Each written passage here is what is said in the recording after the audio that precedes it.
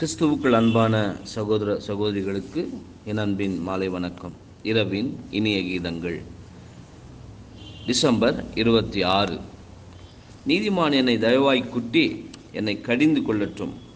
அது என் தலைக்கு எண்ணெயைப் போல் இருக்கும். என் தலை அதை அல்லத்தட்டுவதில்லை. சங்கீதம் நூற்றி நாற்பத்தி ஒன்று ஐந்து. இந்த பாடத்தில் சொல்லப்பட்டிருக்கிற நீதிமான்கள் என்பது கத்துடைய பிள்ளைகளையே குறிக்கும்.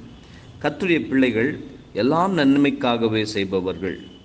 கடிந்து கொள்ளுதலும் நன்மைக்காகவே செய்பவர்கள். கடிந்து கொள்வதினால் மனம் திரும்பி அதனால் நன்மை அடையலாம்.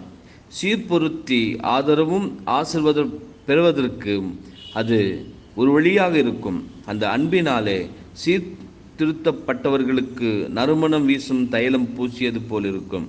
அந்த தைலத்தில் மனம் பல மணி நேரம் இருக்கும். இப்படிப்பட்ட சிந்தனை நம் மன மனக்கண் முன் இருந்தால் இதில் நல்ல பாடம் ஒன்று இருக்கிறது இது முதலாவது கத்தரே நம்மை சீர்திருத்துகிறார் என்று எண்ண வேண்டும்.